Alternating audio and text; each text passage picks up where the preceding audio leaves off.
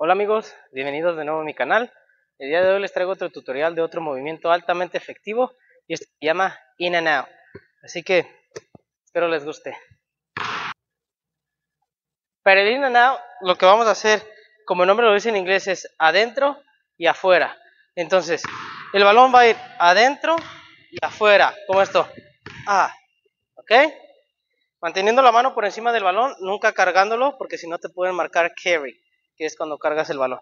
Entonces, pero para que sea más efectivo, vamos a dar un jab step con nuestra pierna izquierda y vamos a girar nuestra cabeza también hacia el lado izquierdo. Vamos a hacer esto. ¿Ok?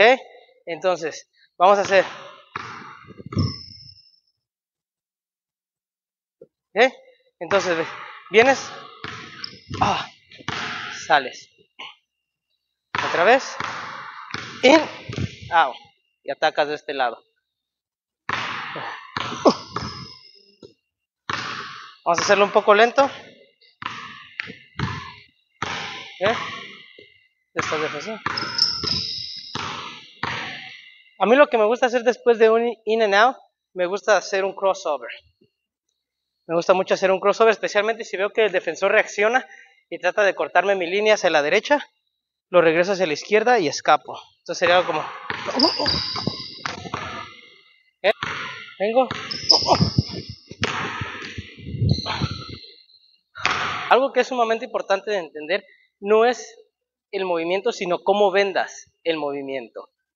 ¿Verdad? Porque si tú haces el movimiento, pero no sabes qué está pasando alrededor de la cancha y tu defensor sí, a lo mejor no se compra el movimiento. Entonces lo que puedes hacer es observar el juego y, por ejemplo, si viene un compañero a hacerme una pantalla del lado izquierdo, o tú llamas una pantalla a tu compañero que venga del lado izquierdo, cuando vengas la pantalla hacia el lado izquierdo, al momento de que tú hagas el in, el defensor va a pensar que tú vas a querer usar la pantalla y te vas a querer escapar por ese lado. Entonces ahí va a ser altamente efectivo usarlo.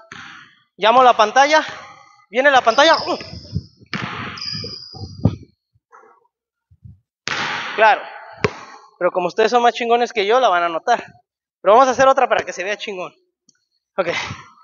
Estamos botando el balón. Llamo la ayuda. Viene a la pantalla. ¡uh! Ahí está. Supongamos que ya hicimos esta jugada en el juego. Entonces nuestro defensor ya más o menos se las vuele. Ya sabe lo que vamos a intentar hacer de nuevo, ¿verdad? Porque jugada que funciona, jugada que se repite.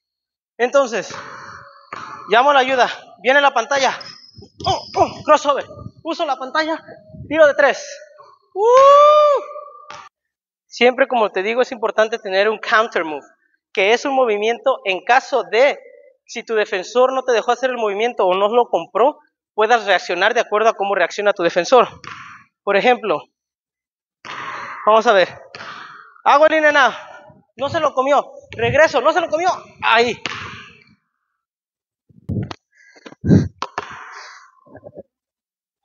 Coméntenle y denle like para que me pueda comprar unos micrófonos inalámbricos porque esta chingadera se me anda cayendo a cada rato. Pero bueno, continuamos. Uh, al momento de entrar aquí van a, van a pasar muchas cosas, ¿verdad?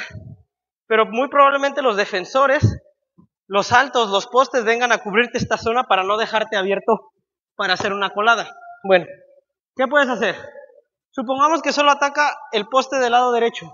Entonces tú vienes aquí un 2, puedes tratar de vencerlo con un euro, lo cual no te recomiendo porque si son más altos que tú, probablemente te van a bloquear. Pero entonces supongamos que entras aquí, puedes terminar con un floater. ¡Pum!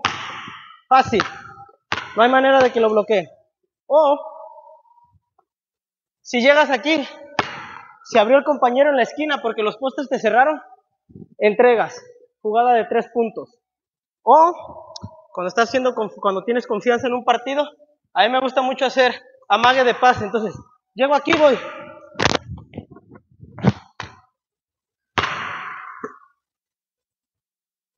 Puedes hacerlo, pero es dependiendo como te sientas más cómodo. Si estás empezando a hacer este tipo de jugadas, te recomiendo que lo mejor es que asistas a tu compañero y mientras vayas agarrando más confianza, puedes intentar nuevas variaciones en tu juego.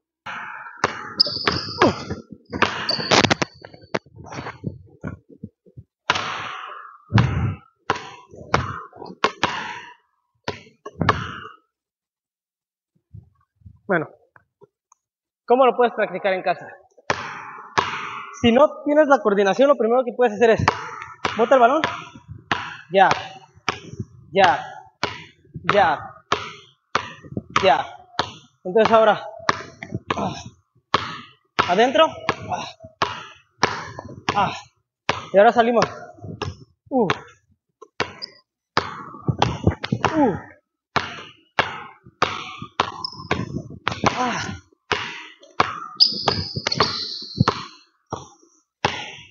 Bueno, hasta aquí el video de hoy, espero que te haya gustado. Déjame en los comentarios qué más te gustaría aprender, estoy comenzando en YouTube. Sígueme en Instagram, estoy como arroba mexican.jesus23. Gracias y hasta la próxima.